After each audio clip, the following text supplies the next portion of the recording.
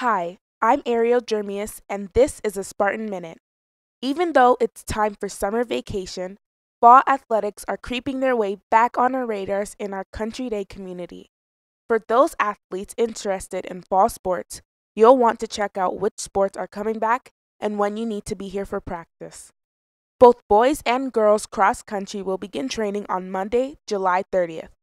For you golfers, you'll be hitting the green on Monday, August 6th.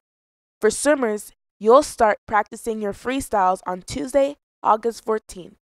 Middle schoolers interested in becoming Lady Spartans in volleyball, training will begin Monday, August 6th. And high schoolers interested in bumping, setting, and spiking the ball, volleyball training begins Monday, July 30th. And finally, making a comeback for our football players, your running and tackling begins August 13th, Monday. Don't be fooled.